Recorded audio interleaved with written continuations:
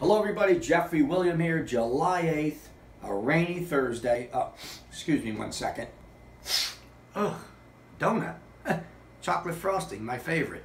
Mm, I'll eat that later. Uh, anyway, here's the idea. I have a prediction for you all here from a deck of playing cards. 52 in a deck. I'll spread them right here. And my prediction is, first, Gabby, as I go like this, just say stop anytime. Stop. Boom, right there. Perfect.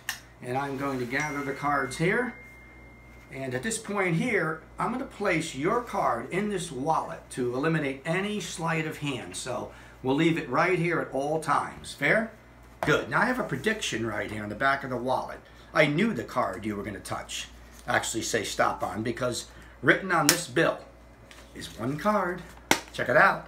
Four of clubs is what I predicted. In fact, if we go into the wallet, we'll see that there is one card right here. And guess what? It is the four of clubs. A perfect match. Thank you very much. Hold your applause. But it gets better than that because you see, well, the deck actually, this entire deck, well, it's completely blank, just like your expression. That's right. Every single card is blank. Thank you for watching.